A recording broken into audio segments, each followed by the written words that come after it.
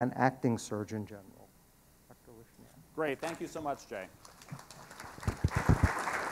So thank you again for being here. For people in the back standing, there's some places left here. I, this is so exciting because we're beginning to fill this place up, especially from the student's perspective. I know that we always start rather early in the morning. So right now is when we're going to reach that saturation point as students, and I see some of my faculty are coming in as well. Good job. Uh, so we're going to stop. We just went live stream as well. And the problem with live stream is I don't know how many people are out there who registered for this meeting. But in essence is we are now live. So everybody turn around towards the cameras and wave hi. Welcome our live stream people. Now, I've made this a signature event for us in that we start out. We talk about health and well being, so we're going to start out with that approach. It's an exercise that exemplifies health, right? This is something I've been doing almost at every speech lately, especially when I have an audience who has not heard this before, but even the ones who are repeat customers. So, in essence, I'm going to ask you if you are able to stand up, stretch, move your muscles, right? Everybody get up and stretch, move that neck. Doesn't it feel good to move around, right? Isn't that grand that we're moving around? Now, when you're also into that mood, I want you to turn to your left, turn to your right, introduce yourself, shake hands if appropriate, hug, do whatever you want, tell people who you are. Welcome to the School of Public Health. Thank you. Once again, I can't thank you enough for.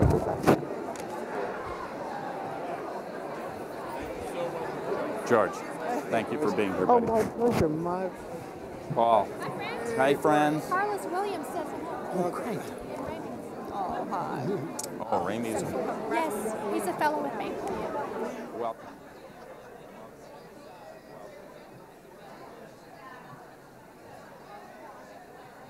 Okay, once we've done that, once we've done that, I'm going to ask you to either sit in your place or stand if you want to.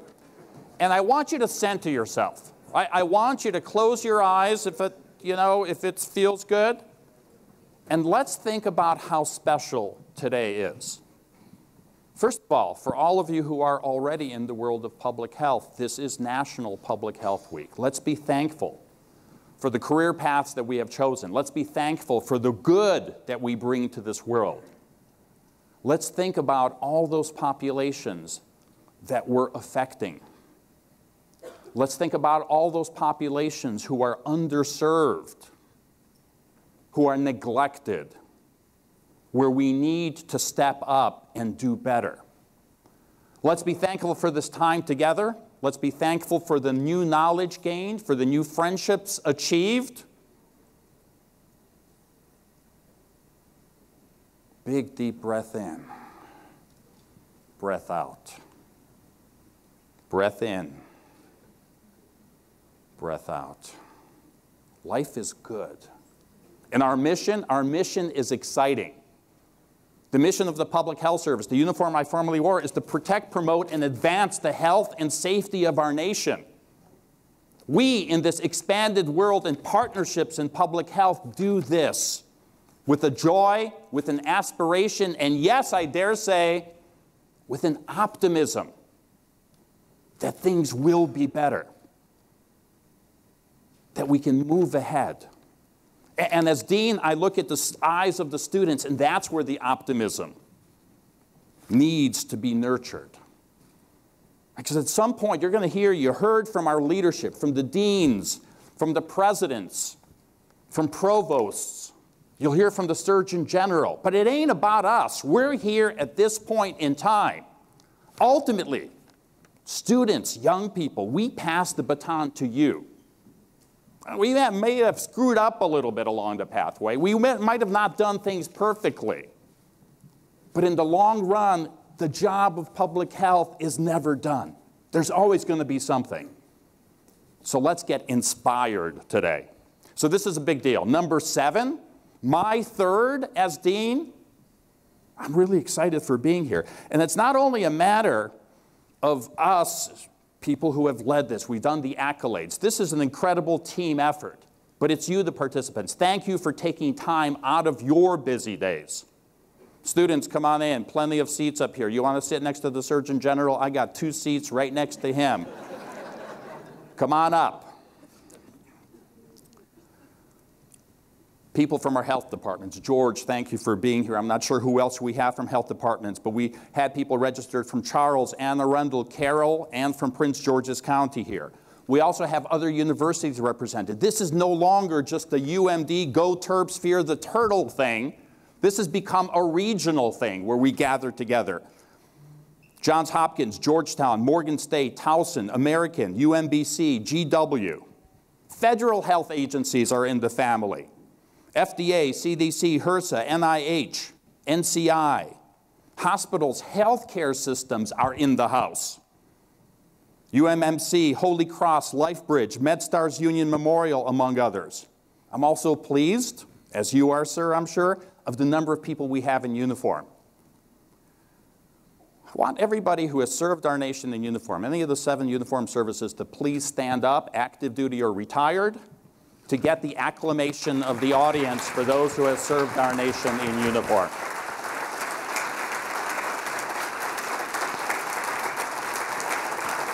Well done, team. And I miss you a lot, public health service officers. So, for those who know me, I wore the uniform for 27 years. It is so cool because the first time I met Surgeon General Adams, we were reversed. I was the guy in uniform, and you were the guy in a suit how great that life takes us down all these different pathways. So, a short story. Right, we have on this stage here today an important addition to the School of Public Health at the University of Maryland. And I, am sure that the entourage from the OSG. When I was in the Office of the Surgeon General, it was always cool. I'm sure that the same thing continues under the current administration. But if you had five or more people traveling together, you got to use the Public Health Service helicopter to get here, right? So I'm not, I'm not, you know, so I'm very happy. I do want to acknowledge the person who's taken on the role of my former job. She's been on the job now for four weeks, Rear Admiral Erica Schwartz, the new Deputy Surgeon General of the United States. Stand up, wave hi. And knowing how the hard work continues, I want to acknowledge also Captain Joe Dulay, who's the new Chief of Staff in the Office of the Surgeon General. I was worried earlier because my wife Trish Cusimano, she's here too, wave hi Trish. Uh, so she was talking with Rear Admiral Schwartz and they're going off on something, they're laughing and all that. And I thought to myself, uh oh, here's the talk from the wife of the former Surgeon General, uh, acting Surgeon General and former Deputy Surgeon General, telling the current uh, Uh, deputy Surgeon General, here's where my husband screwed up, don't do it that way. But back to this idea of what do we have on stage. So you must have been surprised to see the Surgeon General's flag. Now, every Assistant Surgeon General, every Rear Admiral in the Public Health Service gets their own flag, right? I have one that I'll bring to the office one of these days. It's sitting at home right now, but I think it should be at the school, is a white flag with a blue anchor in caduceus, the symbol of the Public Health Service. Surgeon General, however, is very special. There's only one of these flags. It's the blue background with the white anchor in caduceus.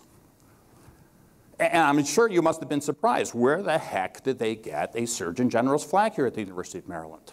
Well, January 11th, this past year, we celebrated the 55th anniversary of the first Surgeon General's report on smoking and health. I was blessed and honored to be the acting Surgeon General. We celebrated the 50th. Right? It was a commemoration, a celebration of what public health can do. And just a few weeks ago, it was 55 years since that quintessential report that changed our culture. It changed our culture. It was a report that started something that changed the way we can do it. If you aren't an optimist in public health, just use that as an example of what we can do. Because right now, if you light up in here, not only is, are you going to cause gnashing of teeth and discomfort, you're going to be breaking laws. Right? This is a smoke free campus. We don't allow this. Our culture has changed. The youth of today aren't used to this. Yes, we have a vaping issue. We have to make sure we don't give up on that.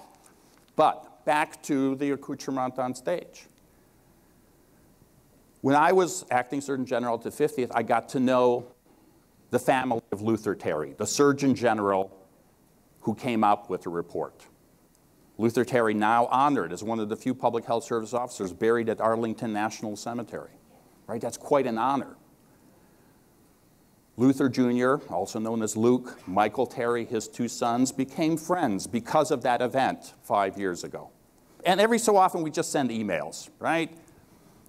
We have that ability to interact occasionally. One of them is on the, the board of the Commissioned Officers Foundation. Jim Curry, Colonel Curry, where are you? The Commissioned Officers Association and Foundation is a key member to here. Jim, please stand up. Wave hi to the group. Commissioned Officers Association, a key sponsor of this event. Well, about four weeks ago, I get an email from Luke Jr., from Luther Jr., Luke. And he says, Boris, how are things going? How's the deanship going? And oh, by the way, my wife and I, we just moved to a new place down here in Florida. And it's smaller. We don't have that many places to sort of store, store things. I'm sending you something in the mail. And what comes in the mail? What comes in the mail? Luther Terry's Surgeon General's flag. Isn't that amazing? This is history, ladies and gentlemen. This probably hasn't been shown in public for 50 years, perhaps even 55 years. This is Luther Terry. This is a spirit of a person, not one person, a spirit of a whole movement that changed our lives, that changed our nation, that made us healthier. We now have this as something to have in the School of Public Health to show our students each and every day of what we can achieve in public health, of what's doable in public health. Ladies and gentlemen, I present to you Surgeon General Luther Terry's flag. Let's hoop and holler because this is so cool. And now another hoop and holler because I'm here to present the Surgeon General of the United States. Vice Admiral Adams, he's a native Marylander, right? He's one of us. As you heard, a Terp fan, right? He kind of grew up around this campus, with this campus. His father worked here. He was ra raised in Mechanicsville in St. Mary's County. Before becoming the Surgeon General in 2017, he served as the Indiana State Health Commissioner. That's where we met. Appointed by then Governor Mike Pence he has made addressing the opioid crisis and mental health issues among his top priorities. You can read his whole bio, there's a lot there. But here's a person who, who worked hard to get to where he's at. Right. We talked about the issues of underrepresented minorities in medical schools. He broke through barriers. He worked two jobs while being a medical student. He was out there sending money home. Sometimes we neglect to look at the struggles of our own students as they're trying to attain things. Here, ladies and gentlemen, is a gentleman, an officer, and the 20th Surgeon, Surgeon General of the United States. Ladies and gentlemen, give it up for Jerome Adams. You want this? Or?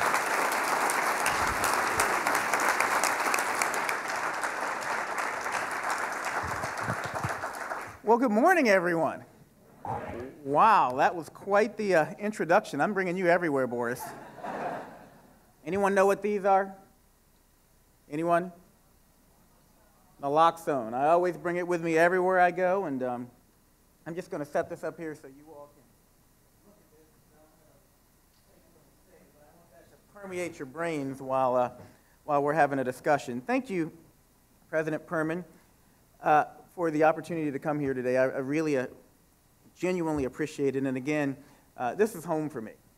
I spent a lot of time here in uh, undergrad. Just a few weeks ago, I pulled out my 2002 University of Maryland National Champions t-shirt that I uh, got back in 2002, and it's still in my closet, and I break it out every year during the NCAA tournament in the hopes that I will be able to, uh, uh, to, to, wear it proudly when they become champions yet again. They're on the upswing. They're on the upswing. Uh, you know, I, I want to go off script uh, really early because I've learned from Boris that sometimes you just throw the script away. I want to invite uh, uh, Admiral Schwartz up to the stage. I want to invite Admiral Askew up to the, or Dr. Askew up to the stage, and um, Dr. Reese, please come up. Please, I'd love for the three of you to come up and stand up here next to me for a second because it is National Public Health Week, but it is also Minority Health Month. And if you all um, go on YouTube, uh, you'll see that at, at several, on several occasions, I've spoken about growing up in rural Maryland. And I actually was a, a good student. I had straight A's all through school, but I never in my wildest dreams thought I could, would be a physician because I'd never met a black doctor. Didn't know they existed, didn't know that was such a thing. The first black doctor who I met wasn't until I was in college when I actually met Dr. Ben Carson when I was in college at UMBC. So it is really important to me that we acknowledge how different our world is today. I've never met a black dean of a medical school who didn't come from an HB, who wasn't at an HBCU. This is, this is history for me to be able to meet you. Admiral Schwartz, the first African American female to be chief medical officer of the United States Coast Guard.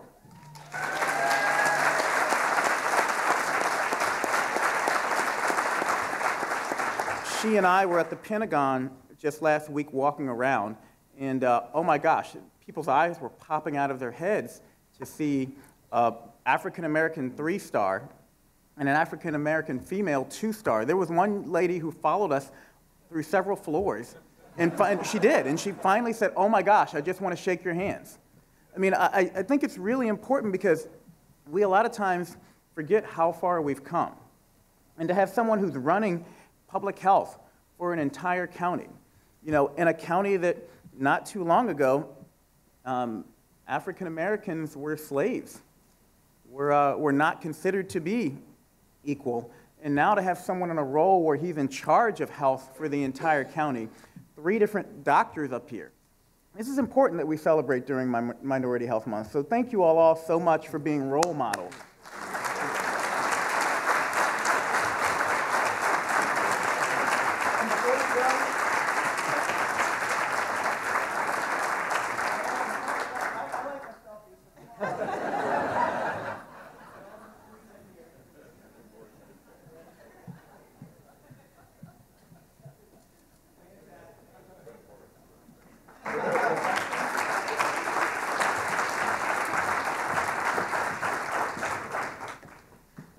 I really appreciate being invited here to speak on Public Health Research Day.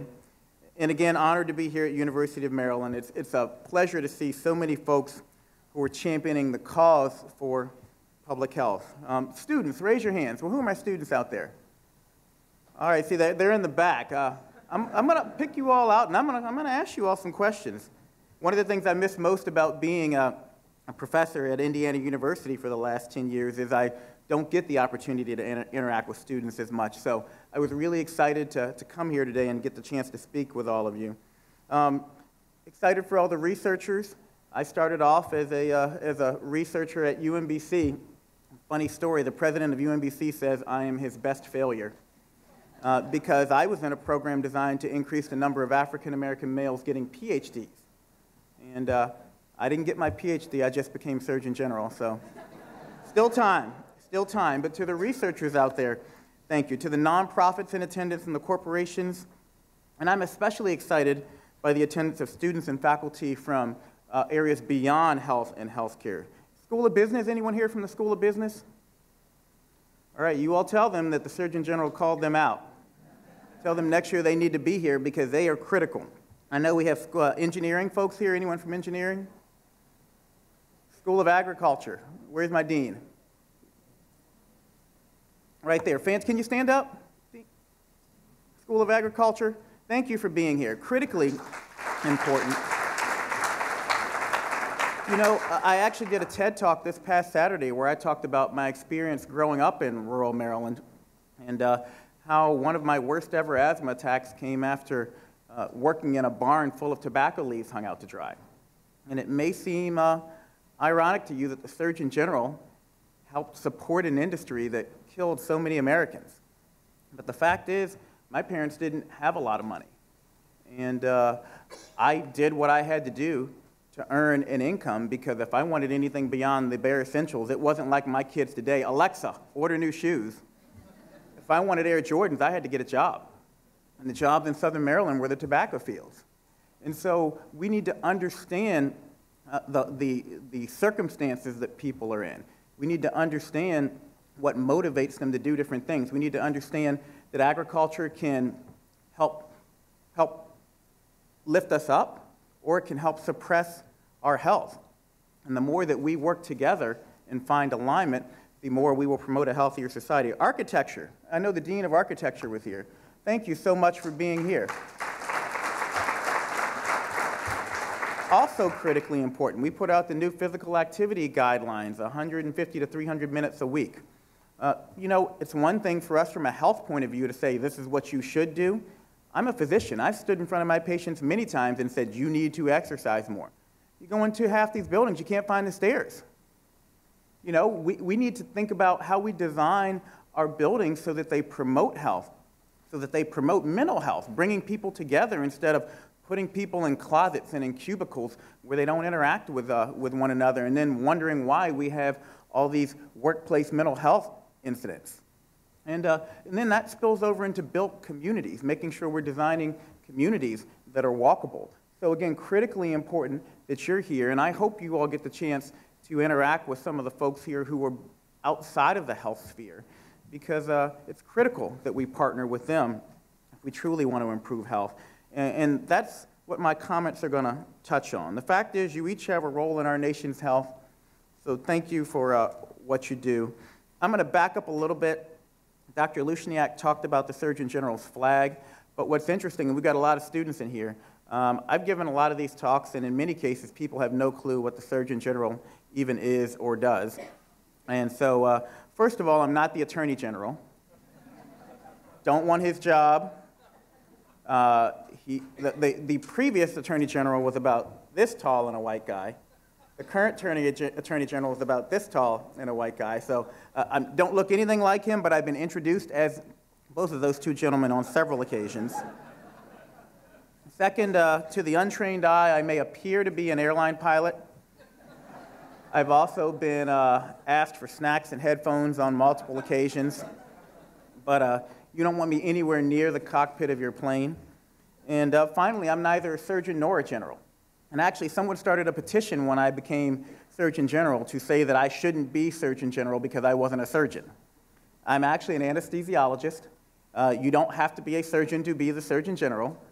And I am not a general. I'm a vice admiral in the United States Public Health Service Commission Corps.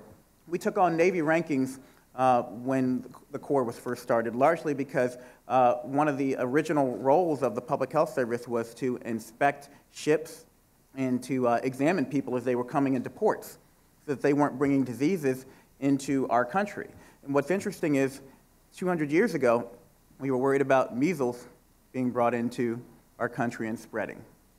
Never thought that as Surgeon General of the United States, in 2019, I'd be dealing with measles being brought into our country and spread into our communities, especially when we have a proven vaccine that is safe and effective to prevent the spread of measles. But that's one of the challenges we have, and I hope you all will talk about that today. Now, I often say um, public health hasn't changed much in the last 50 years. Eat better, move more, get your sleep, don't smoke. Anyone not know that 10 years ago, 20 years ago, 30 years ago? The fact is, in most cases, we know what the right thing to do is, but we need to figure out how to better speak to people, communicate with them, how to better motivate them to do the right things. And that's, to me, is, is really the key to public health and what we have done a very poor job of actually doing. It's coming down off the stage, from behind the podium, sitting down to folks and talking to them and listening to them and figuring out what motivates them and how we can help them attain their goals so that they actually change their behavior in a way that leads to healthier communities.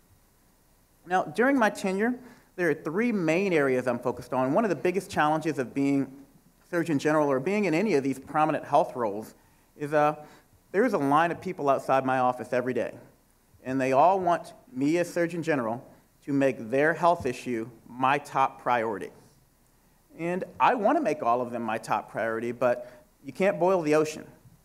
And so at some point, you've got to figure out where can I have impact and uh, where can we lift up things that are going to help everyone. And so my three um, main priorities that I'm working on are number one, addressing substance misuse. And in particular, we're really focused on the opioid epidemic. Uh, in the words of the great philosopher Mike Tyson, everyone's got a plan until they get punched in the mouth. I didn't plan to work on opioids, but it's the punch in the mouth we've all received. But it's also a tremendous opportunity. And what do I mean um, when I say it's an opportunity? Well, five years ago, and I've been in public health for 25 years, five years ago, I wouldn't have been able to go to a town and get the mayor, the head of the hospital, the head of the health department, the school superintendent, the sheriff, the CEO of the largest business to come in and talk about any health issue. They just wouldn't have shown up. Now I can go to any community in America and get all those folks and more to show up to talk about the opioid epidemic. And so it is an opportunity to bring folks together. Now we need to use that opportunity to talk about not just overdoses in naloxone, but to talk about the upstream factors that lead to opioid misuse. Talk about substance misuse in general. Talk about mental health issues and untreated anxiety and depression that lead to substance misuse. Talk about uh, ACEs and, and, and resilience and, and building healthy communities. So even if you're not interested in opioids, even if it's not something that you're personally working on, try to think about how you can use the opioid epidemic and the attention that it's bringing to folks and the people that it's bringing together to put wind in your sails to lift up the issues that you most care about. And like Boris, I, uh, I love stories. Uh, when I was state health commissioner in Indiana, one of the things that I really wanted to lift up, remember everyone's got a plan, was uh, long-acting reversible contraception. Uh, but Bible Belt had a really hard time getting traction. Interestingly enough, one of my buddies is the, uh, is the health commissioner of Tennessee. Tennessee's even more in the Bible Belt. You would have never thought they would have had success lifting up long-acting reversible contraception in Tennessee. But through the lens of the opioid epidemic, uh, they, they uh, realized that people were concerned about the number of babies being taken away from their moms, the number of people who were being turned over to child and protective services. And so they started to look at who those moms were, and they were moms who were ending up in jail because of the opioid epidemic. They were moms who had multiple kids, and uh, the stress contributed to their substance misuse and contributed to their children being taken away. And so now they are leading the country in terms of providing the option of long acting reversible contraception to women who are incarcerated so that they don't come back out and end up in an even worse situation because they're having more and more kids. And so I just tell that story because it's an example of something that you would never think is going to be related to the opioid epidemic, but an opportunity you have to push different initiatives because of the people who are coming together and the attention that, uh, that's being paid. As Dr. Lushniak mentioned, also very concerned about the rise in vaping that's going on in our society. We should celebrate that flag. We should celebrate Dr. Terry. Um, smoking rates have been going down consistently for several decades, particularly among our young people. Tobacco use has been going down, but now tobacco use is starting to go back up again in young people, and that's being driven largely by e-cigarettes and vaping. We also uh, need to have, a, I think, a more nuanced conversation about marijuana. You've got two camps. You either believe marijuana is all good and we shouldn't say anything bad about it, or you believe that marijuana is all bad and we shouldn't even entertain the fact that it could have any redeeming, uh, redeeming uh, uh, qualities. Well, the truth lies in between. And uh, I'm really concerned about the number of women who are smoking marijuana while pregnant or consuming marijuana while pregnant. I'm concerned about youth attitudes about marijuana usage. Uh, because we know, the science shows us marijuana can have a, uh, does have an, a negative effect on the developing brain, including in the fetus. But really need to have that conversation up front so that we aren't looking back 5, 10, 20 years down the road and saying we woulda, coulda, shoulda uh, put the brakes on this, or, or at least been more thoughtful about the way we're implementing policies. And I know that's the case here in Maryland, where they've recently uh, made it a lot more available for people to access marijuana um, even though that's medical. We know that uh, I was in Arizona, and they said the number one way that youth are accessing marijuana is through people who have a medical marijuana card. It's diversion. So again, we need to talk about these things, and I hope you all have the courage to broker a conversation that goes beyond tweets and that goes beyond headlines. I'm also working on improving the health of our communities by making the connection between investments in health and resultant economic prosperity. That may sound weird to you all too, but if you look at Gallup polls, remember I said communication is where we're failing, behavior change is where we're failing. If you look at Gallup polls, the number one issue people vote on, Democrat or Republican, black or white, rural or urban, is what? Jobs and the economy. You know what people don't vote on? They don't vote on health. And I'm not saying that to discourage you. Um, I'm saying that so that you realize that the language we're speaking in and what we're selling is not what voters out there are buying. So we need to translate what we're selling into a language that resonates with folks. And then the third thing I'm wor- uh, working on is raising awareness of the link between our nation's health and its safety and security. We know that communities that are healthier have less crime. We know, uh, well, maybe you don't know this. This is a shocking stat that I'm sure some of you actually don't know. Seven out of 10 of our 18 to 24 year olds in this country are actually ineligible for military service. Seven out of 10. Because they can't pass the physical, can't meet the educational requirements, or have a criminal background record. So I told you number one issue people vote on is jobs and the economy. Number two issue people vote on consistently is safety and security. So if we can frame health in terms of how it makes us a safer and more secure nation, country, community, then we'll get more people paying attention to what we are selling. When the solutions are complex, and especially when they're controversial, we need partnerships and collaboration.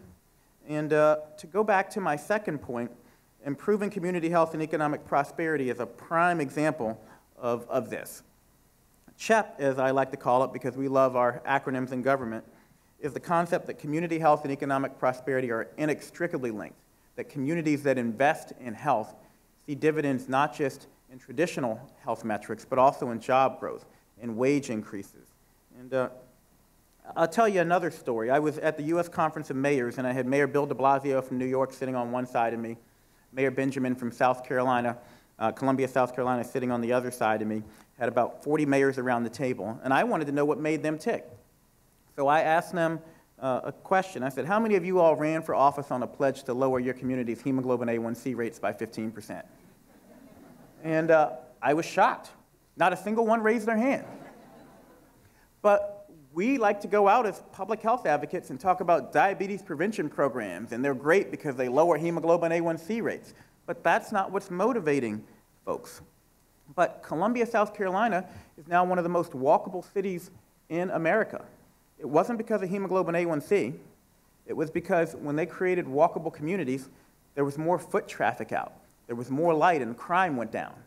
It was because when they created a walkable community, more people uh, were downtown spending money and tax revenues went up. The businesses did better. Property values went up. And guess what? It also lowers hemoglobin A1C. But instead of leading with that, we lead with the, health, the economic benefits of, of uh, the different programs that we, that we are uh, interested in people adopting, then we'll, we'll have more success. And to my researchers in the crowd, that starts with you all. Because, yes, we need to show that we can lower hemoglobin A1C rates and lower systolic blood pressures and improve health metrics, but we've also got to, in our studies, start to evaluate what we're doing based on metrics that people care about, based on safety and security and job growth and wage growth. Anyone hear about this company called Amazon? Uh, well, over the last year and a half, there's been a, a fight amongst communities across the country about trying to bring Amazon's second headquarters to, uh, to, to various cities. Here's the thing that a lot of folks don't know. Where'd they end up? You all know, you all know that one. Anyone know where they ended up? Crystal City, Virginia. If you look around Crystal City, Virginia, four of U.S. News and World Report's 20 healthiest cities in the entire United States surround Crystal City, Virginia. That is not a coincidence. Companies move to places where there is a healthy workforce. And we need to go to communities, to mayors, to policy leaders and say, look, not because of hemoglobin A1C, but because if you want to get Amazon to move to your town, you need to invest in smoke free communities and complete streets and the things that we all work on each and every day to prove are effective at, uh, at improving health. Now, I want you all to, to think about three things that you should remember, and I'm going to go through these quickly because I want to save time for uh, some remarks. But these are three points that I would make to, uh, to the health advocates in the crowd. Um, and you all know this, but I'm going to put a little bit of a different spin on it. Um, number one, one of our big problems in this country, and another wind in our sails, quite frankly, is that U.S. healthcare is expensive. We spend $3.4 trillion on healthcare each and every year, um, almost a fifth of our GDP, more than any other country. And again, these dollars aren't just diverted from company profits, they're diverted from critical funding priorities like job creation, wage increases, research and development. I travel uh, around sometimes with the folks from the Department of Labor, with, with Secretary Acosta. You know, we view the opioid epidemic as a public health crisis. He views the opioid epidemic as a labor crisis. We have more unfilled jobs in this country than we have people looking for work right now. And even though our economy is, is booming, it's at risk of stalling out because of America's poor health. It also pulls money again from that common resource pool. If we're spending more money on health care, that's less money for police cars. That's less money for, for fire trucks. That's less money for education. That's less money for the other priorities that we care about in our communities. And so it's critically important that we understand how much healthcare is costing us and the impact that it's having beyond just poor health. Number two, and that leads into it, is we're not getting what we pay for. We're not getting good value on healthcare. So we spend more than anyone else, have some of the highest infant and maternal mortality rates, some of the lowest life expectancies. On measure after measure, we fall short. So we need to ask ourselves, how can it be that we spend so much and get so little? And um, I do want to stop here and, and, go off a little bit. Um, it's not waste. And this is important too. A lot of folks say there's waste in the healthcare system. That money isn't going into thin air, it's going somewhere. I was actually this morning looking at my uh, Advair inhaler that I still take. Been taking it for 20 years for my asthma. It still costs over $100. That money's not waste. Somebody's getting that $100. Anyone in the room have a 401k? Raise your hand if you have a 401k or some sort of retirement plan. Well, again, one fifth of our uh, GDP is going towards healthcare. So when we talk about waste on one side, we've got to understand that on some side, on the other side, many of you all are making money. You're, you're paying for your retirement home off of my $150 that my Advair cost. So we need to understand that the system is set up to get exactly the results that it's getting. We've got to fundamentally think about how we change the system and create new incentives. It's not just about cutting healthcare spending, it's trying to figure out how we can incentivize positive behavior. And in the society that we live in, help people figure out how they can make money through prevention versus make money from simply treating people downstream. And, and this leads into the final point, and health folks, public health folks in the crowd are aware of this. Uh, 80 to 85% of health is driven by factors that have nothing to do with health care factors largely in our communities from employment to housing to education to social support. Any people who work for hospitals in the audience? So nonprofit hospitals have to do a community needs assessment. And I've talked to a lot of hospitals. What is fascinating is if you talk to them over and over and over again, I've heard so many hospital um, CEOs tell me, we asked our community what their number one health issue is. And you know what consistently is the top answer? Affordable housing. And those CEOs say, no, no, no, no, we want to know what your top health issue is. And the community says, yes, our top health issue is affordable housing. We need to understand that health is so much more than health care. And we spend 90, 95% of our time talking about health care, but not enough talking about the other factors that lead to health. Good paying jobs and the skills to do those jobs. Uh, not just affordable housing, but safe housing that's not contaminated by lead and mold and other contaminants.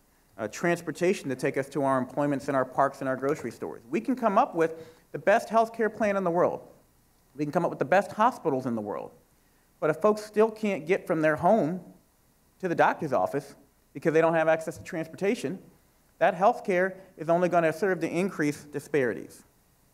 And, uh, you know, I'm going to skip these remarks because I, uh, a lot of this because I, I want to save time for engagement. But I do want to leave it, you all with a call to action. Uh, as public health experts, as uh, leaders uh, in areas beyond public health, you all have unique opportunities to leverage your influence and resources to forge better partnerships, stronger partnerships that more effectively promote the health, the economic prosperity, and the safety of your communities. So I want you to ask yourself who belongs at the table to identify and address the barriers to good health in our communities. We often speak to the choir, and that's important. I love coming here and speaking to the choir because sometimes you got to pat them on the back and tell them they're singing a good song. But you have to realize that you're not going to bring more people into the church if you keep speaking to just the choir. How many, how often have you all uh, reached out to local law enforcement? Because they're critical in addressing the opioid epidemic. Uh, the most common place you're going to encounter people who are suffering from substance misuse disorder are in the ER and in the, and in the, um, and in the, uh, the jails. They're not going to show up, they're not going to get a, a, a well visit and schedule a well visit and come in to see you. They're typically not going to come into your health department unless they have a, a problem. So, how do we partner with law enforcement? Faith leaders. How do we partner with them? And I'm happy to share my story about Scott County, Indiana, uh, where we had the largest HIV outbreak related to injection drug use in the history of the United States.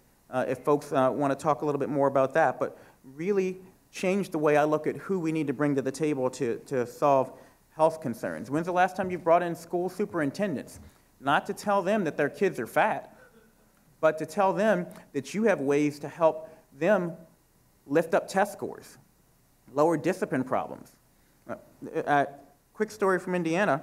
Uh, I visited a school out in rural, um, rural Indiana, and uh, I was the head of the State Department of Health, and we had funding to put bikes in schools.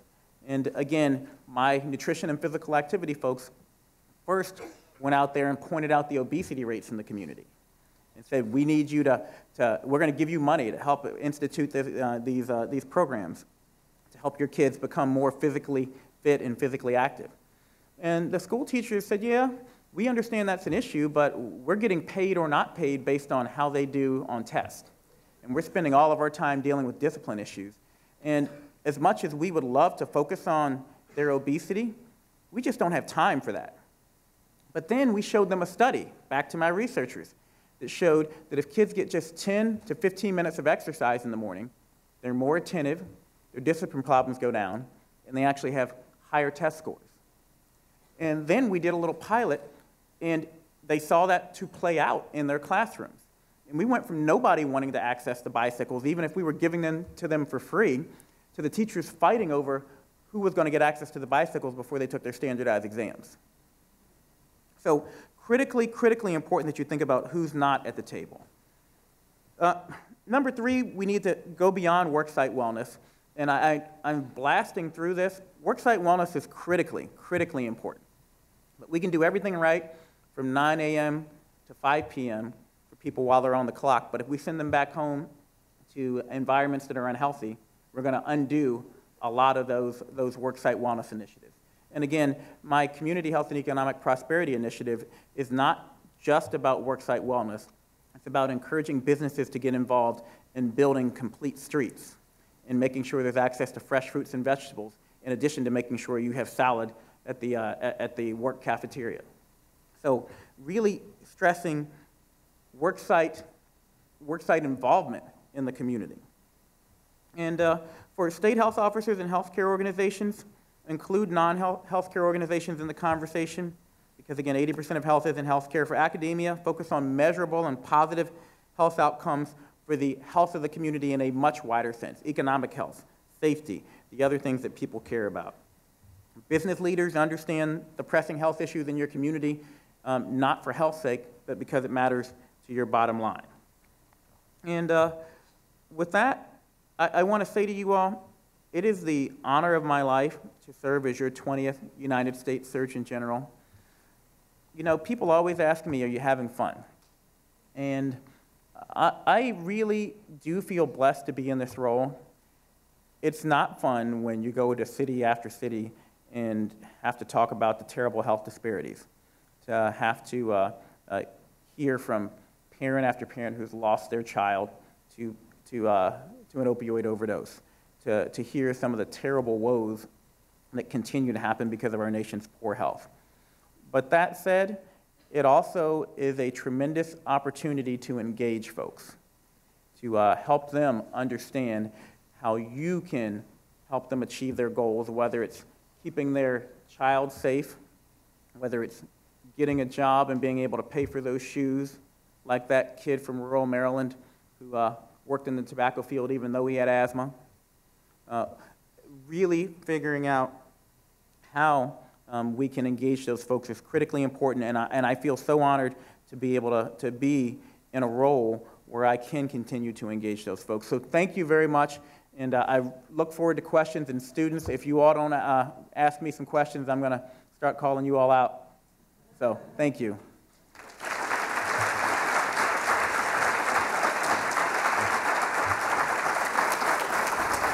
Thank you, Surgeon General Adams. Uh, Surgeon General's office and the Surgeon General himself had agreed uh, to having a format of a town hall meeting at this point. We have a bunch of submitted questions from students, faculty, and staff, and Jay will uh, ask the first question, but at the same time, we want audience participation. So as we ask the first question, please start stepping up to the two microphones here at the front. We just ask you to identify yourself when you ask the question. Uh, keep it as brief as possible. That would be great. I get the prerogative of, of asking the first question. Uh, Told me I was gonna- well, you will. You're going to get the second question, so be ready to go. My first question, sir, is uh, what kind of plane do you fly? That's a joke. That's the pilot. Actually, my daughter wants to, to uh, fly a plane. We talked about Come on. our role model. So um, I took my daughter to go see uh, what, Captain Marvel. Anyone seen that?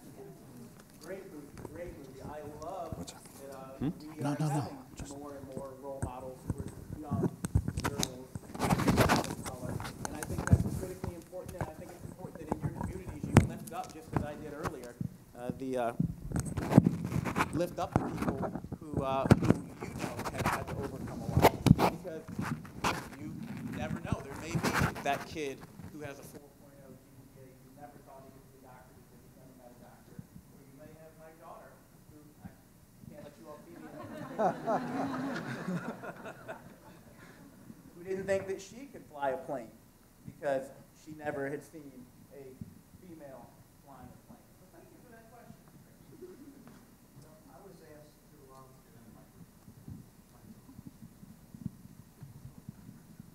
So, thank you. Um, I, I, we had some questions that were sent in by a variety of people, some here and some maybe um, listening in on, on the webcast. I'd rather talk to you all than talk to the cards, though, so start coming up to the Okay, I'm going to ask one and then turn it over to the real people. Um, This is a general question. If you could start your life over and still be in the position you're in now, what would you have done differently? And this is from Brianna Aldridge, an MPH in health equity student in the School of Public Health. That's a great question, Brianna, and the most honest way I can answer that question. Are we on, are we off? Testing. Brianna, can you hear me now? Uh, that is a great question. If I could go back, what, what would I do differently? And uh, to the students in the crowd in particular, if I'm going to be very honest with you, uh, absolutely nothing. And that's not to say that there aren't decisions that I regret, that there aren't interactions that I wish um, I had handled differently. But if my, my son is 14 right now, if I take him out to a, uh, a big empty field and put him in a car and say, drive, and he just has a big open field to drive in and everything's easy, and he comes back and says, Dad, I made it from one side to the other, uh, I can drive. Should I give him the keys to the car and let him go out on the beltway? No, absolutely not. Uh, everything that's happened in my life, even the bad things, it's led me to this point. I'm a more effective uh, advocate for people with substance use disorder because my brother is in prison in Maryland due to crimes he committed to support his addiction. I'm a more effective advocate for people uh, who have asthma or for people who smoke because I worked in the Southern Maryland tobacco fields. And so I really do believe that, uh, that everything that happens happens to you for a reason and shapes you. And when you're coming across difficulties in your life, um, you can spend a whole lot of time stressing over why it happened and wishing it didn't happen and wishing you could change it, but you can't change it. So, what I try to do is figure out um, what's the lesson that I can learn from this? How can I lift up people um, by sharing my story? And, uh, and, and, that's, that, that's the, the, most honest I can be with you about it. I, I wouldn't go back and, and change anything. Now, as a parent, if I could go back, I, uh, I would work a whole lot harder about, uh, on trying to get my kids to eat fruits and vegetables because uh, I have a, a 12 year old, and I shouldn't say this to you as Surgeon General, but the kid probably gets a, a green vegetable in him about once every, about once every uh, two to three weeks. And, and it's, just, that's, it's just hard. And, uh, and as a parent, uh, you know, they all start off eating baby food, and at some point we start to stray as parents and give them uh, more and more options or say they don't like that anymore. Uh, but, uh, but a lot of things I would do differently as a parent, but as a uh, public health advocate, I think I'm here because of, in many ways, the difficulties that I had and because it wasn't so easy and because I didn't make the right choice. Make the right choice is, you know, go out and fly a kite. If it's a windy day and you throw the kite up and it takes off, easy peasy, you don't know how to fly a kite. It's that day when there's not that wind in your sails that you really have to know what you're doing to get that kite to go up in the air. So, great question, Brianna. Uh, hello, my name is Sergio Bondapada. I'm a senior here and a fellow, fellow Southern Marylander. I'm from Calvert County. Oh, all right. Yeah. Um, so my question is that uh, coming from Calvert County, I've noticed that a lot of the people around me have begun to have increasing doubts in the efficacy of vaccines. Mm-hmm. And I, you mentioned this as well with the measles outbreak as well. So my question is, what do you say to people who are so reluctant to listen? Uh, so I was out in uh, Washington and Oregon just a few weeks ago, in Clark County where, uh, where the measles outbreak is really um, uh, flaring up. Over 70 cases of measles. And there are a couple of things there. It's important to understand that number one, there are people who are, I consider, vaccine resistant. You're not going to change their minds no matter what you say. And what's interesting is when you dig into the demographics, they tend to be educated. There are a lot of nurses, there are a lot of people with health degrees um, in that vaccine resistant crowd. And I got cornered on a plane when I was going out on that trip by, by someone who, was a, uh, who recognized me and was in that vaccine resistant crowd. And there was nothing I was going to say to her. As, as, she spent 45 minutes, she cornered me when I came out of the, the, uh, the bathroom on the back of the plane. On a, on a, ride to the, to the West Coast, true story, and uh, told me, you know, oh, for 45 minutes why I didn't know anything and what was wrong with my approach. But that said, there are a whole lot of people who are just vaccine hesitant. Um, not vaccine resistant, but vaccine hesitant. And we have to treat them with the utmost respect because the biggest way you're going to push them vaccine hesitant into vaccine resistant is when they encounter a health professional who patronizes them, who treats them with disdain, who doesn't take the time to actually answer their questions. Because regardless of who you're talking about, everyone just wants what's best for their kids and their family. And so we need to do a better job of being servant leaders. Anyone heard of that concept, servant leadership? That's embedded through everything that I do. And uh, the talk I gave this morning really was about servant leadership. It's about figuring out how you can help people achieve their goals instead of saying to them, they need to help you achieve yours. And to a parent out there who is hesitant, who has fears, their goal is protecting their kid. And they see you as, as simply wanting to use their kid to get to your herd immunity your idea of, of, of what you want to achieve or whatever else whatever other propaganda is on there. And so you need to take the time to sit down with them. And one of the best things that i actually heard when i was in washington was a doctor and he said to me you know one of the challenges is i get 15 minutes in a well child visit and i've got to try to educate someone about vaccines and then very quickly get them to make a decision that they're hesitant about. So he said i started holding q and a's just after hours where folks could come in and it was a two hour session and they could just come in and ask any questions that they wanted. And it was a more relaxed atmosphere that didn't have a life or death decision on the end of it.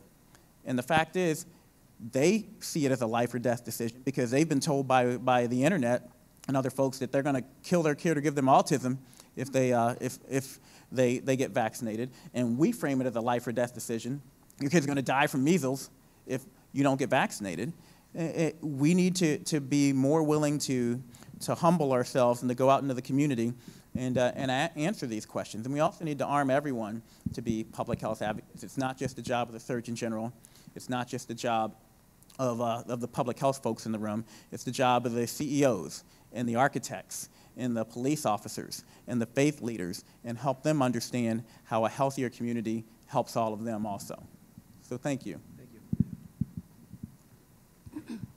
Hello, thank you so much for your talk. I'm Landetta Jones. I'm a faculty member in the University of Maryland School of Medicine. And I, I come from a campus which has an amazing uh, professional schools, which I think together can really impact and eliminate health disparities working together. And to this end, I um, created a focus group uh, with uh, community members and faculty together. And, and one of the blaring things that came out is the issue of trust um, historical things that has happened over the years that can often create barriers into partnership.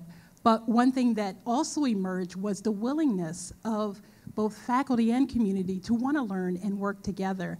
However, I wanted to speak to your um, sort of experience as a faculty member, and you can understand that there's a lot of priorities and things that we need to meet, and the struggle and perhaps lack of incentives to engage with the faculty, I mean, engage with communities. But it is so needed because relationship is so important to build those barriers, so uh, to break down those barriers. So I wanted to know from your perspective, um, what would you suggest um, for more engagement between um, sort of the demands of faculty, but wanting to really understand the needs of the community? It, it's a great question, and Dr. Lushniak can relate to this. We actually are very much dealing with this within the Office of the Surgeon General. Anyone heard, heard of the uh, Tuskegee experiments? Notorious, right? They were overseen by a former Surgeon General. And so I think one of the things that we need to do um, is own it when we've done wrong to people. And that's at every level of, uh, of leadership. We need to say that was wrong, even if it was the best decision that the individual thought they could have made at the time. Um, but then that allows us to, to start to heal and move on. But it's hard for folks to heal if no one ever acknowledges that there was a, uh, a wrong done. Now, on the other side, it goes back to what I was saying before. Um, what I'm trying to do is help folks understand that anytime anyone, anywhere suffers from a health inequity, we all pay the price. Uh, over half the births in this country are paid for by Medicaid, which means they're paid for by the taxpayers, which means if you have a bad outcome, the taxpayers are going to have to pay more money for that individual. When a mother has a child that is sick, um, she's, less, she's more likely to miss work. She's less likely to be productive at work because she's worried about her sick child. She may not even be able to keep the job. And again, we have more unfilled jobs than we have people looking for work in this country. So, one of the things I'm trying to do is not just say, point out the disparities for disparity's sake. Because at the end of the day, a CEO or a CFO of a company may feel bad in his heart that there are disparities going on in the community, but that's not going to drive them to make decisions, particularly their company's money, with their shareholders' money, that's going to uh, actually improve health. But if we show that addressing those disparities makes a difference, then um, to their bottom line, creates a healthier workforce, and we need the studies to show that. And we need to bring the people to the table and have those discussions, then we can move that. Now, you, you talked uh, very specifically about faculty. Another thing that I'm passionate about, we do a decent job of uh, workforce diversity training, eh, but to the deans in the room, we do a very poor job of diverse workforce training. Workforce diversity training is helping folks understand how they can speak to uh, individuals from different backgrounds, different cultures more effectively. And that is very important. But diverse workforce training is where I've seen that there is a huge problem.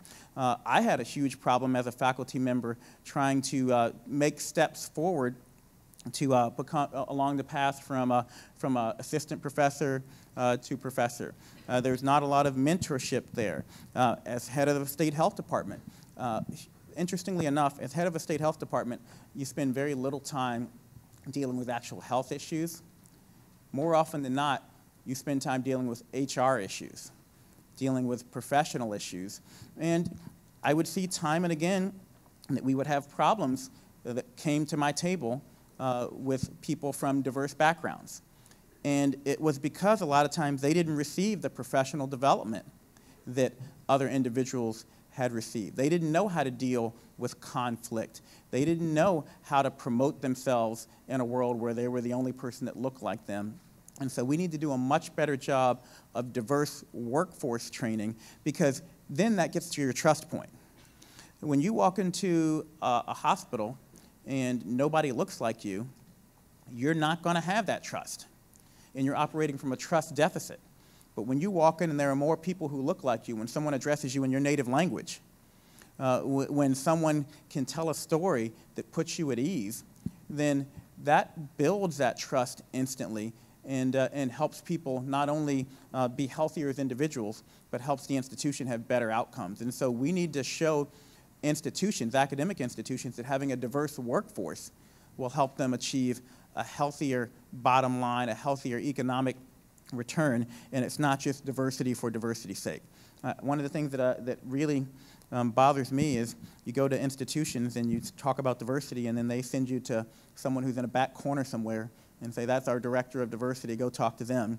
But it's not something that's embedded into the, uh, the rest of the system of the organization because they see it as, as a box to be checked off and not as something that's integral to the overall success of the organization. We've got to help them see that it's not just appropriate for the individual, but it is appropriate for the success of the overall organization, and that's what I'm striving to do. Thank you. Hi, my name is Chris Williams. My question is also about disparities, uh, particularly in light of rapid land redevelopment. Mm-hmm. American cities, both large and small, are seeing economic development, particularly in their core uh, economic town centers, that they've not seen in decades. 50 years plus in many parts of Washington, D.C. There is a recent study that showed that as a result of economic development and vitality in the district, that 20,000 black residents had uh, been displaced. Their word uh, uh, in the study, not mine. And so that raises some questions about equity, particularly about disparities, because those who are displaced are uh, typically less well off. And they then sort of move to areas that have concentrated poverty. I really appreciate the discussion, certainly the theme for today's conference, but also your discussion about cross sector collaboration. How do we have these tough discussions about how we redesign our cities? And uh, I believe we, we probably are redesigning them to promote health. We have bike lanes and all those things, but the people that one might argue would benefit the most from that are, are really vulnerable to displacement. How do you think we could have a productive conversation about health and uh, economic development? It's a great question. We are doing a better job of redesigning and rebuilding our cities and communities to promote health, but we aren't doing such a great job of redesigning them and building them to promote health equity. And uh, oftentimes, what happens is we pat ourselves on the back, like you said, for the new bike lane or the new smoke free law, but we don't address the gentrification that's occurring. And we actually see the disparities widen, even though we pat ourselves on the back for the health statistics slowly improving. And smoking is a great example of this. Smoking rates have been going down for years, but the disparities have been slowly widening because we have the interventions in the affluent communities, in the communities of, uh, of, of whites, and we allow the cigarette companies to continue to prey on communities of color. And so, what can you do? Well, and again, I'm, I'm sorry if I sound like a broken record, but we have to invite the, uh, the architects, the planners, the other folks to our table, but even more than that, we've got to go to their table. Because servant leadership, again, isn't telling the architects and the planners that you need to have health in all of your policies. It's going to their table and listening to their concerns and saying, okay, how do we build a community that helps you meet your goals, that helps you build a housing complex that is going to be more attractive to people because it's going to have diversity represented within that housing complex. That's going to help your school be more diverse and a place where you actually want to send your kids to so that that becomes an attractive um, uh, in, uh, ends. And, uh, and I also talk about workforce.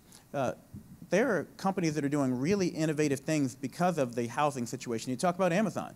Uh, one of the big problems with the, uh, the Amazon headquarters in Seattle is it's driven everyone away because housing prices went through the roof. So companies are looking at how do we move to a town and become part of an affordable housing situation so that people don't have to commute in from an hour and a half out to get back and forth to work. But that's two ways. It's, it's us doing the research to show that healthier communities lead to a healthier bottom line and not just health and health equity.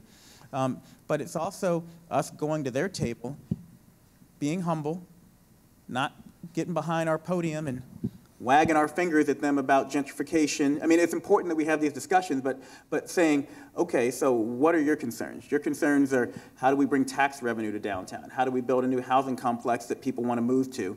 And then saying, okay, we hear you. Let's figure out how we get there together and have an outcome that is, that, that's better for you and better for us.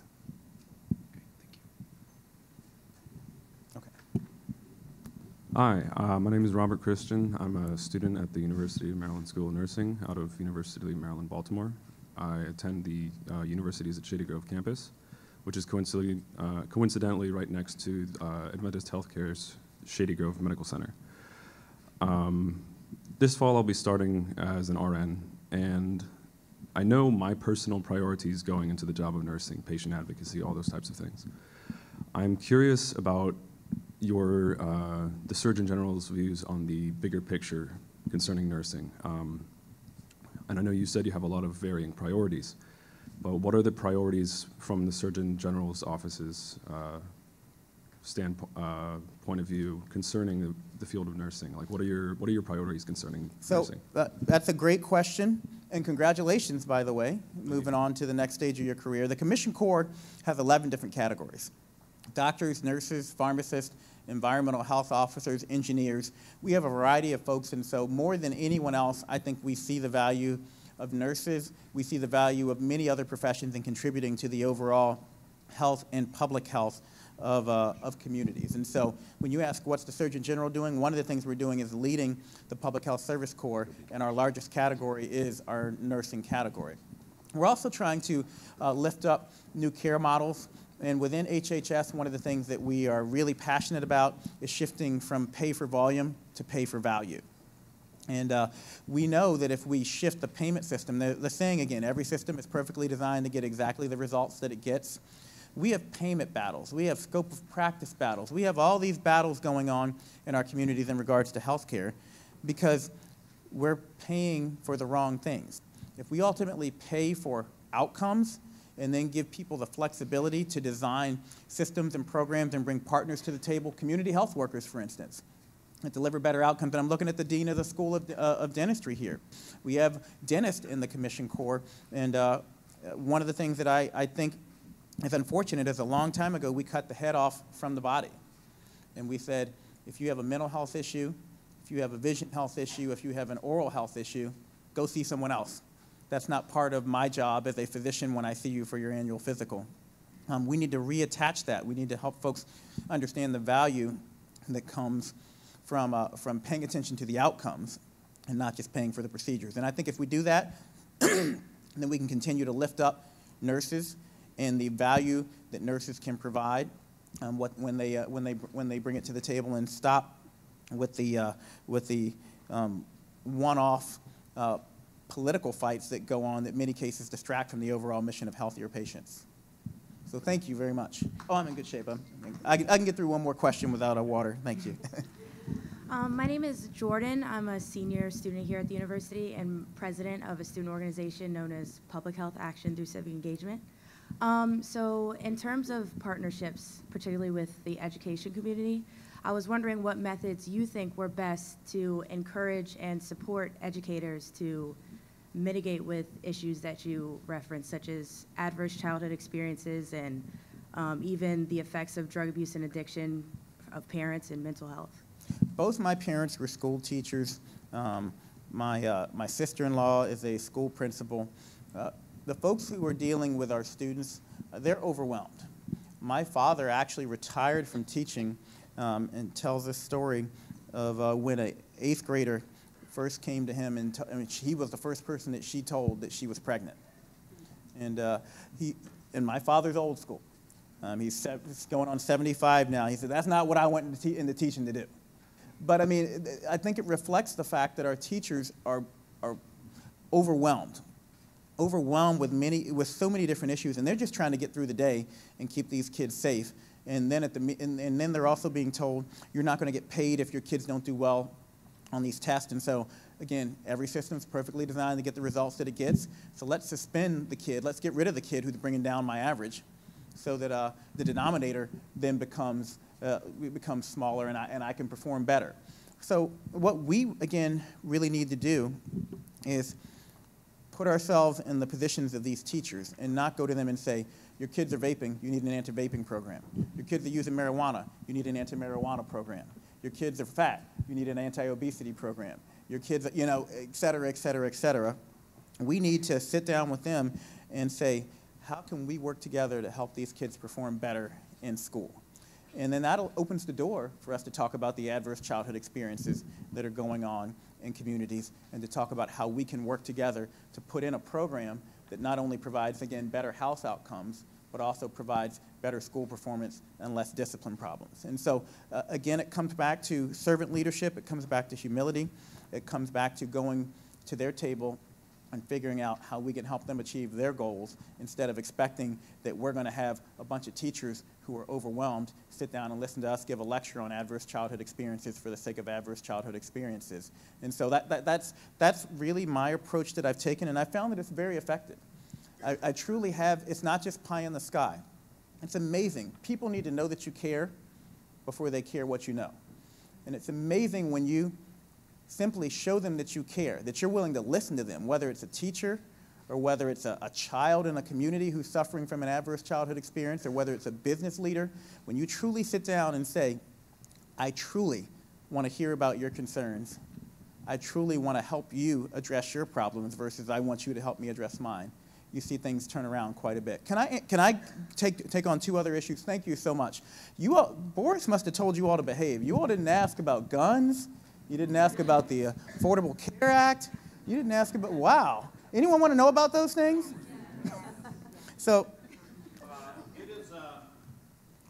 he's cutting me off. See? No, no, he's no. trying to save me. It's a rare day that a day, it, it is rare that a day goes by without a mention of gun violence in our country. What strategies do you believe are essential to curb and ultimately prevent gun violence? And I don't have the person who uh, Okay. Well, uh, you know, what's interesting is I went to uh, undergrad at UMBC. And uh, going there, every time you turned on the TV, every time you heard about Baltimore, there was this, uh, there was gun violence. It was a discussion about gun violence. And you grew up in a, in a culture that was very attuned to the dangers of people owning guns. And then I left there and went out to Indiana University for uh, medical school. And my father in law lives on a farm in rural Indiana. And true story, we've sat out on his back porch and watched coyotes run across the backyard and had to get out his gun to scare off the, the coyotes to keep them from eating the chickens in the, um, in, in the, uh, on the farm. My kids actually are looking forward to going there for Easter so that uh, we can go out and go skeet shooting out, out, out, out, uh, out in, the, in the back field uh, over the corn. And so you have one community where guns and the availability of guns is seen as an existential threat to your existence, and another community where it's seen as this is family bonding time at Easter or the ability to protect our livelihood. So we have to understand that, that it's very, very difficult to come up with national policies that address issues where people have such fundamentally different views and such fund, fundamentally different cultures. And that's not to say that there's nothing we can do nationally. I don't want anyone to take that from what I'm saying. But we really have to empower folks to have local conversations and to come up with policies that promote safe firearm ownership, whether you're talking about Baltimore or whether you're talking about Fort Wayne, Indiana. And so uh, that, that's, my, that's where I am on guns. I really do believe there is a lot of low hanging fruit out there. Um, I'm really concerned about our suicide rates in this country. There's 20 veterans who die by suicide each and every day. I think that's a place where there's common ground. I think whether people believe in gun ownership or don't, I think that they, um, that they still uh, believe that people should safely own firearms. And uh, uh, we need to have the courage to, to, again, have that more nuanced conversation. And uh, when you do, uh, there, there's great examples. There's actually a firearm safety coalition in Colorado where they brought together gun, um, uh, gun shops, police officers, and physicians to discuss firearm safety and, and making gun locks more available and gun safes more available. So it is possible, but again, it's got to be better health through better partnerships. It can't be the gun advocates on one side saying, Second Amendment, they want to take away our guns, and the public health folks on the other side saying no one should own a gun, and if you believe in people owning guns, then you're anti-kids and you're anti-health. It's got to be a conversation that allows us to come up with policies that protect my kids. And my grandfather, my father-in-law is very adamant about gun safety with my boys. The guns are in a safe on that rural Indiana farm, and the boys aren't allowed to touch them or come near them unless grandpa's with them. And it's very oriented towards gun safety, but it is not an anti-gun household. It's a pro-gun safety household. And, and, and, that's, that's where I think we need to move to on the gun issue. Um, Affordable Care Act. I get, a question, get questions about that all the time. And um, I want every one of you all to know that I passionately believe that individuals should be able to uh, access high quality, affordable health care. I believe that. I believe we need to separate political vehicles from, uh, from destinations. And so the destination is high quality, affordable health care. Um, but this is just a fact. The Affordable Care Act is a political football. And there are people out there who, if you ask them, do you agree that people need access to high, to high quality, affordable health care, they'll completely agree with the destination.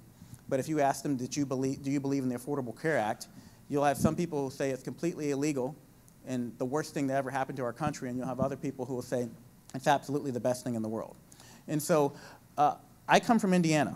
Indiana is one of the uh, red states that um, utilized uh, uh federal funding to expand access and, and, coverage to people through our Healthy Indiana plan. But we got a Medicaid waiver. And uh, we also have some, some unique things built into our system that, quite frankly, a lot of uh, folks who, who are liberally aligned didn't like.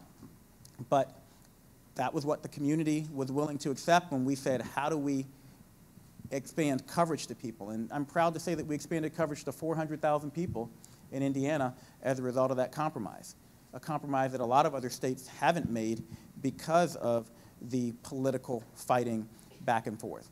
So again, all that is to say, as leaders, I think it's your job, it's our job, it's my job to be the adults in the room to be the mediators, to not be the ones who, uh, who demonize um, and, and, and over politicize some of these issues, but really say, what can we agree on?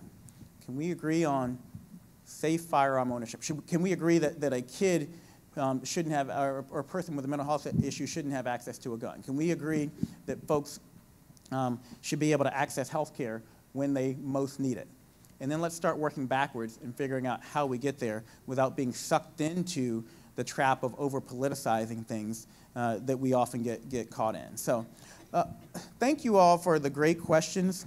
Thank you for the opportunity to, to again, um, be here today. And thank you for the opportunity to serve as your 20th United States Surgeon General. Uh, it truly is the honor of my uh, life, and I want you all to understand that I take it very seriously. I am your United States Surgeon General, and I really have tried to come up with cross-cutting issues that allow me to, to lift up whatever issue you care about. I really do love to engage because I learn so much from you all, and I want to be that representative for you all in the room. The final thing I would say, and Dr. Lushniak, uh, I'm sure would support this too, there's a lot of folks who have a lot of um, bad feelings about uh, government in general, our federal and state institutions, and uh, some of our politicians. And uh, I will tell you very honestly, uh, number one, I'm an independent, so I don't have any political affiliation. Um, when my patients come into my operating room, and I still practice a day a month at Walter Reed, I don't see Democrats or Republicans. I see people who need care. But uh, the people who I've come across consistently, there's no one out there who wants to hurt other people. There's a lot of people who, uh, who are getting paid a lot less than what they could in the private world to work in federal government, and they're hard workers. They just have different ways of viewing the world. And you're not going to engage them. Uh, actually, you're, you're going to push them away if you use language that, again, demonizes them. And I mean that to folks on both sides of the table. I mean that to folks on both sides of the table. So, uh, my plea to you is to please, please try to use your voice to bring people in, to figure out where they're coming from, to know your audience, and to frame uh, your discussions in a way that will best resonate so that we can move health in the direction that we all want to today. Uh, otherwise, you're going to spend the day talking about great public health interventions that aren't going to move the needle because the key word in public policy is public. And if you want to translate those public health interventions into effective public policy, then you need to figure out how to resonate with your audience. And, and, and again, please let, let's try to get beyond the politics and really look at the, the, uh, the goal that we want to achieve, and that's a healthier, a safer, a more secure, a more prosperous nation. So thank you so much. Great. Thank you so much. Um, this has been a great session. And again, how honored we are to have you here as a guest during National Public Health Week for the University of Maryland event.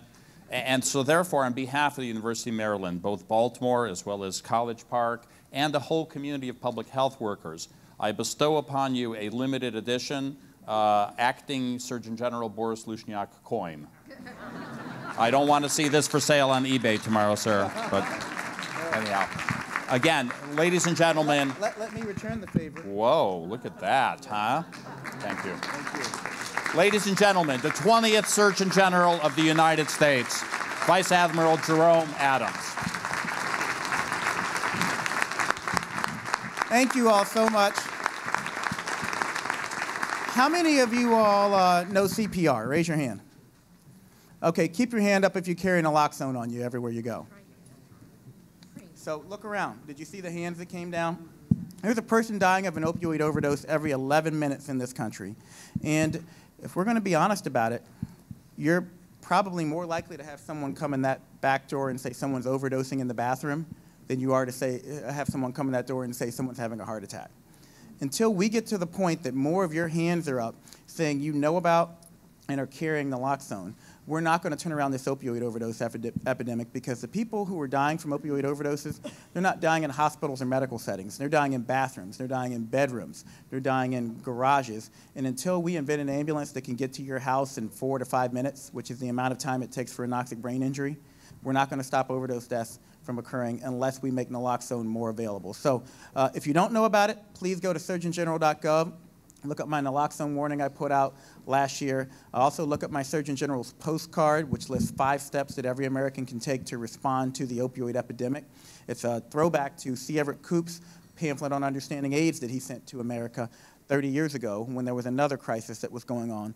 There are real, tangible steps that each and every one of you can take right now and today to respond to this opioid epidemic and to use this tragedy as an opportunity to lift up the health of communities. So, again, thank you.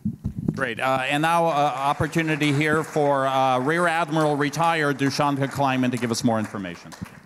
Well, first of all, thank you all, and uh, thank you to the Surgeon General for the challenge that you've given to us and for bringing your whole team with you.